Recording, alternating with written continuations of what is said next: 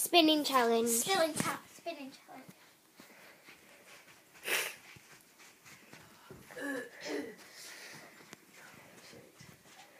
What is it? Yeah. Um, hay fever. really bad. Oh, it's because of chopped grass today. I know.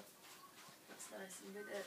I know. They were only one man though. And they were swearing. Yeah. weren't They went, I absolutely blessed my pants. they? Are you dizzy yet? No.